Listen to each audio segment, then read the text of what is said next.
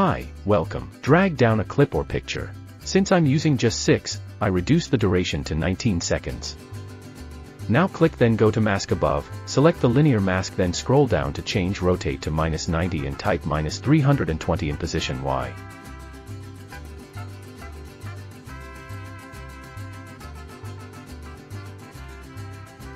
Further right click to copy, then I added 7 more video tracks because I am using just 6 pictures, afterward I right click to paste as shown.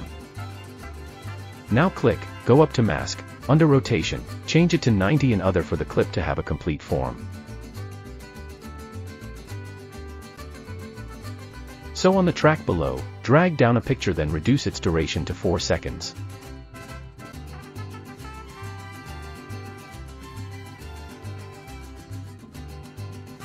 Further click the picture, go up to apply keyframe to transform, then scale down to 50 and type minus 603 in position Y as shown. Now move the playhead to 1 second then go up to only restore the position to 0. Again, move the playhead to 2 second then go up to only apply keyframe to transform.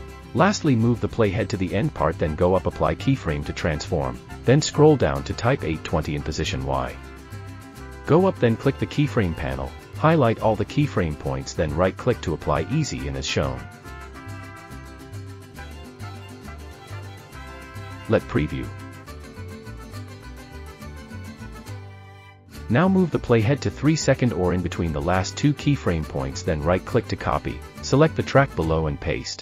Again highlight both pictures, right-click to copy, move the playhead in between the last two keyframe points, select the two video tracks below then paste. Continue to do the same depending on the number of pictures you are using.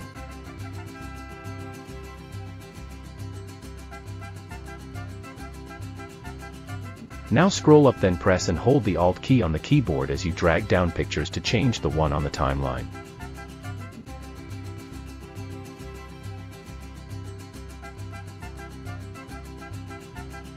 Let preview.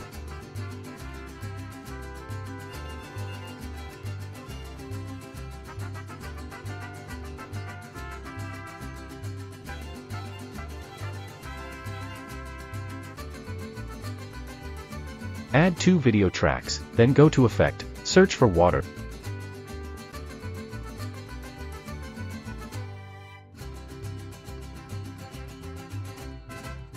Drag down water reflection, extend then click to adjust its height to 0.50 as shown.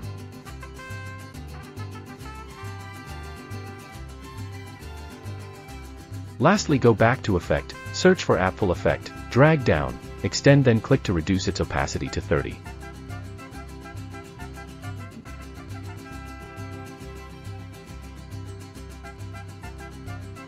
For the template link with multiple pictures, check description. Thanks for watching, you are awesome. Have a wonderful day.